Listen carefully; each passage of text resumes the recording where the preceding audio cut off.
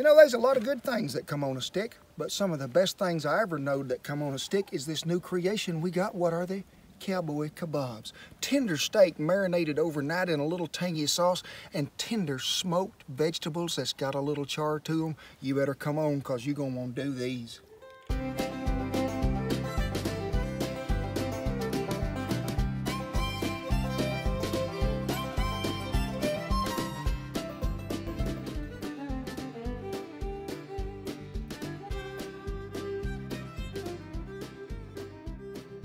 Y'all for stopping by camp on a foggy morn. Air traffic control let us land right in here, give us the clean signal from the fog and the sandhill cranes that was all the way over camp this morning they was. But what are we doing today? Everything that we're gonna do and the printable recipe will be right down there in the little link below the video. But today is a special day because guess what folks? I am going to teach you how to knit. Yes. We're knitting today. Yes. Something like Purl one, curl two, I ain't got a clue, but what are we talking about? Kebabs. I'm gonna call them ka-meat because that's what we're gonna put on them, okay? Now, this can be done with beef, with pork, with chicken. But today, folks, we doing beef because I've been on them other things for about three or four weeks in a row and I'm craving me some beef. Now, the cut of beef I really like to use for these, and two of them are very special for this. One is about an inch and a half thick cut New York strip. The other would be a sirloin. Now the sirloin is going to be a little cheaper, but whatever you use, be sure to make sure that it is quality. And Would you use a ribeye for this?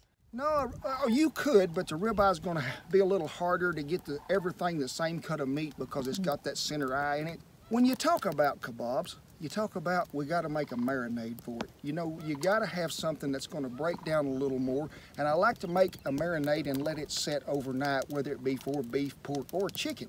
Jimmy Buffett sang a song about it. Anybody got a clue? Anybody in the back? Raise a hand. Nobody knows what it is, Shin. Tequila. yeah, I mean, we're not talking about taking a drink before you make this marinade, but if you need a drink of it, hey, go ahead. It is the breakfast of champions if you can get by with it. So to start with, let's take us some lime juice, put it in a bowl. Then we're going to take that tequila and put it in there. And I'm talking about a half a cup because I want it to do some good.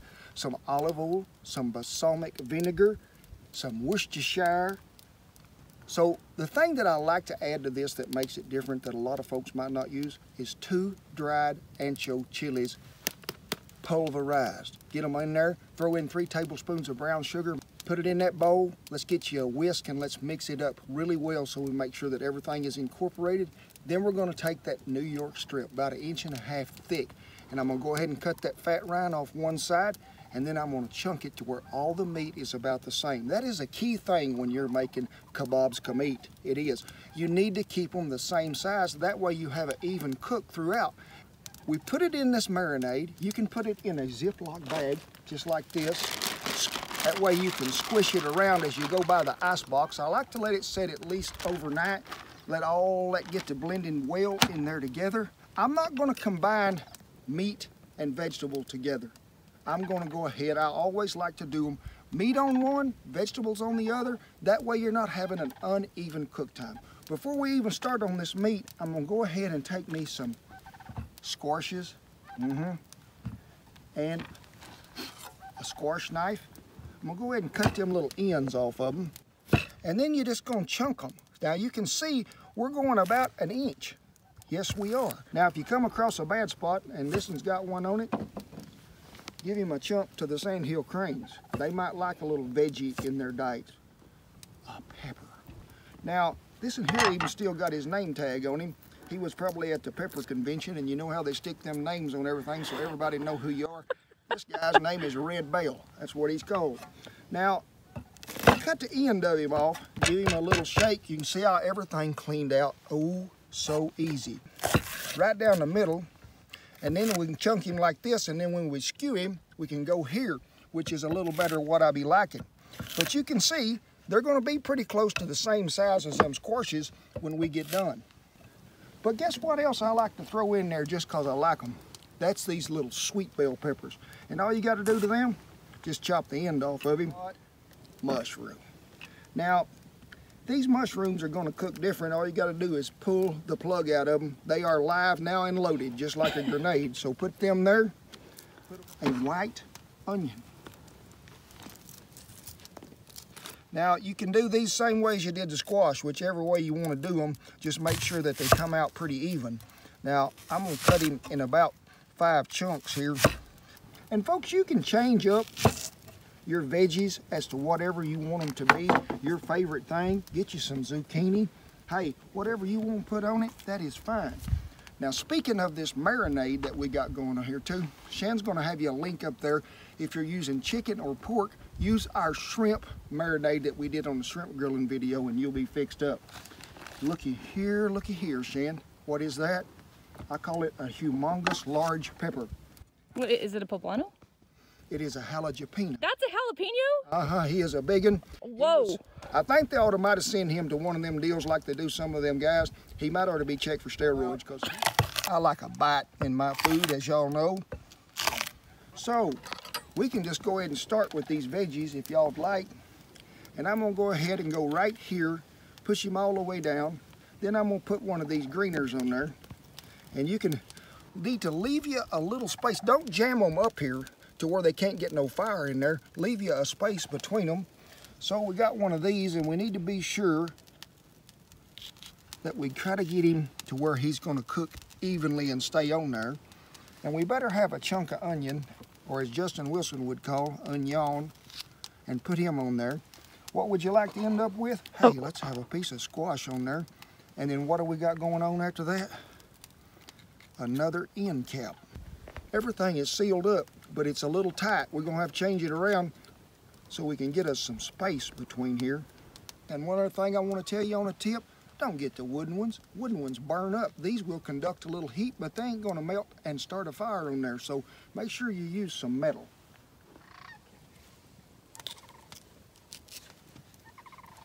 Now folks, I'm gonna tell you too, you can see as Shan went by there with the little camera there, there weren't no mushrooms on there. No, they wasn't. I like to do them on a separate deal all by themselves. That way I can know they're gonna cook a little different, ain't gonna take much fire on them. So, well, now comes the star attraction of the whole movie. What is it? The beef. Skewer right down through there. One right after another. You know how to do it, folks. Get the lid off this here olive oil. We're just gonna give them a little drenching so everybody gets a little juice.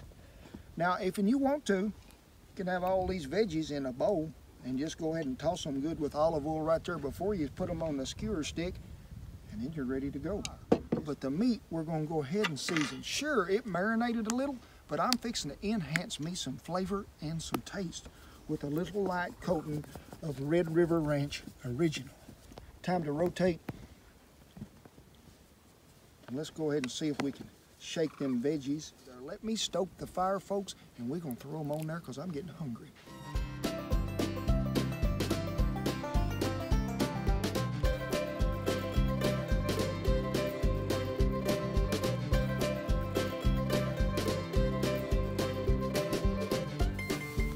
And there is a sizzle, and that's what I'm after.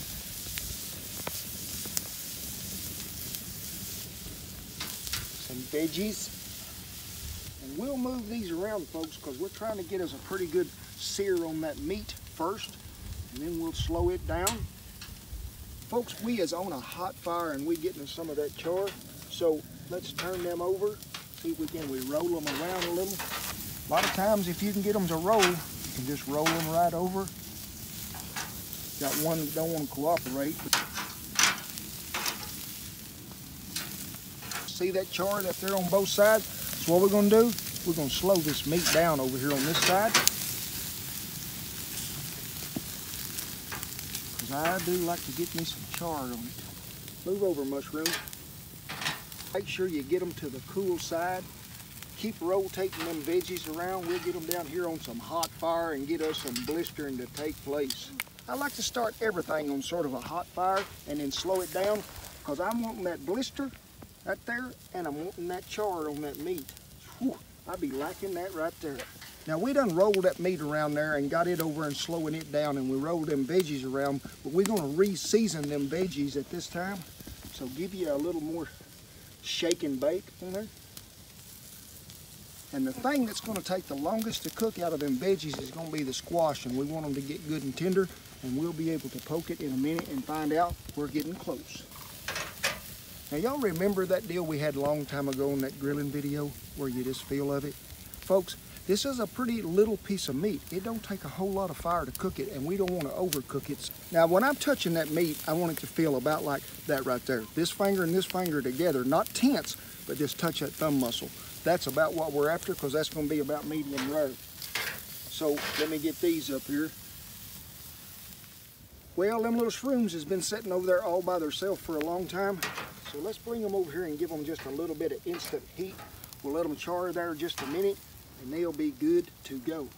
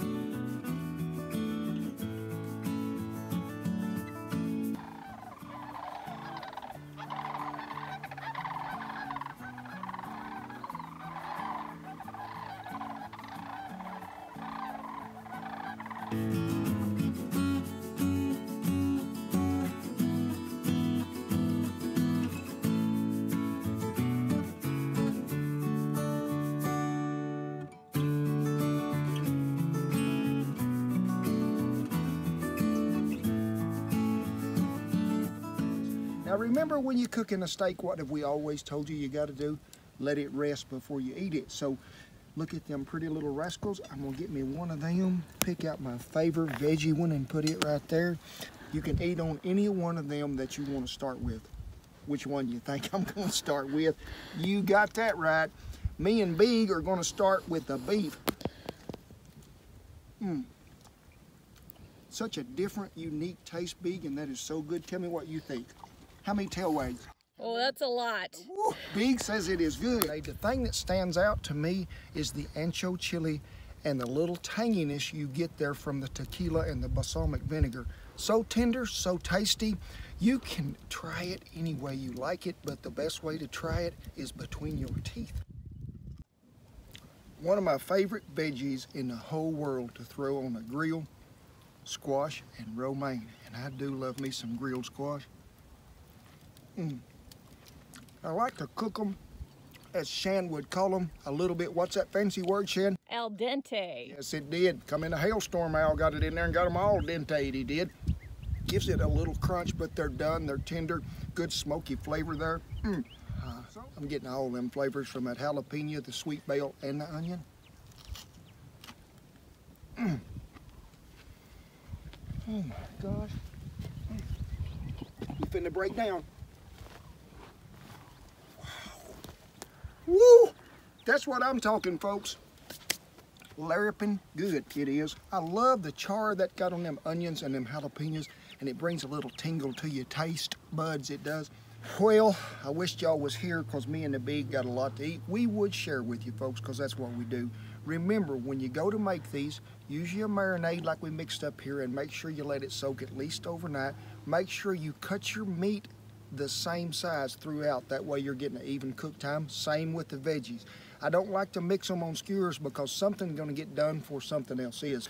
We hope you learned something today. We hope you had a good time and we hope you felt like family because that's what me and Shan are trying to create. Be sure you hit the little subscribe button, you like it, and you share the videos, folks. I need you to start sharing them with everyone you can find because we're not just teaching food here, folks. We're showing life and how simple things are. See Old Glory there in the background? I tip my hat to them every day and I thank them for all that they have done. Our veterans, our servicemen and women, and all those who have served to keep this country great and free that we get to do what we like. And an old man on a ranch told me one time many years ago in the bottom of the Palo Duro Canyon on a very cold morning. He said, You're born into this world with three things. He said, That's God, family, and your word. Take care not to tarnish any of them. We ask you to have a great day above the grass. God bless you each and every one, and see you down the Kabob Trail. You a little zing and a little kick, and vegetables with a great smell. A marinated steak overnight, and I forgot the words. I did. I'm so sorry. Tang, tangy, tangy. with the astronauts. What? Tang. It went to the moon with the astronauts. Oh they my gosh. It. Yes. Here's some cowboy kebabs. Tender marinated steak. Steak. We're gonna cook up some steak. You know, there's a lot of good things that come on a stick, but some of the best things I ever seen come on them are these cowboy kebabs. Tender marinated snake. Snake. Well, we're cooking snake today now. You know, there's a lot of good things that come on a stick. I know, I've heard it 54 times.